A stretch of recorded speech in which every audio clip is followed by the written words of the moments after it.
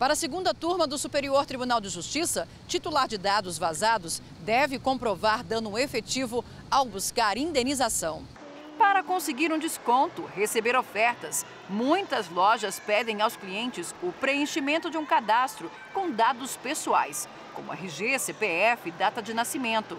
Para muita gente, uma prática inofensiva. Eu não acho que tenha problema, mas é, eu pergunto assim se eles vão ficar me mandando e-mail, se vão enviar SMS, porque eu acho um pouco chato. Até então, para mim, tranquilo. Já aconteceu, mas não é sempre não. Eu preencho o cadastro.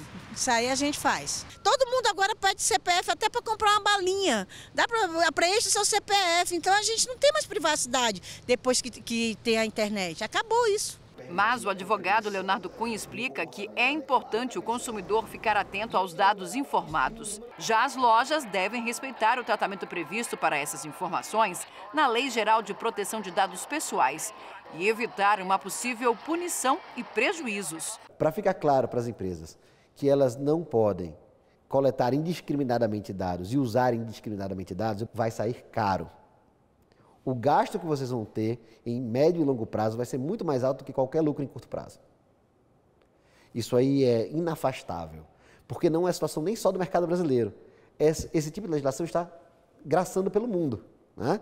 com especificidades em cada país, mas o empresário não consegue crescer, ele tende a diminuir e muito provavelmente ter seu negócio adquirido ou, pior, quebrar. Em São Paulo, uma cliente entrou com uma ação de reparação de danos contra a concessionária de energia do estado, a Eletropaulo, porque os dados dela, como nome, endereço e número do documento de identificação, foram vazados. Segundo a consumidora, os dados foram acessados por terceiros e ainda compartilhados com outras pessoas mediante pagamento, situação que para ela gerava potencial perigo de fraude e de importunações.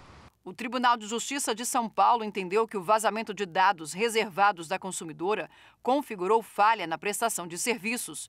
Por isso, a Eletropaulo recorreu ao STJ. Para o ministro Francisco Falcão, relator do recurso, no caso dos autos, os dados da cliente vazados são aqueles que se fornecem em qualquer cadastro, inclusive nos sites consultados no dia a dia, não sendo, portanto, acobertados por sigilo, não de índole íntima.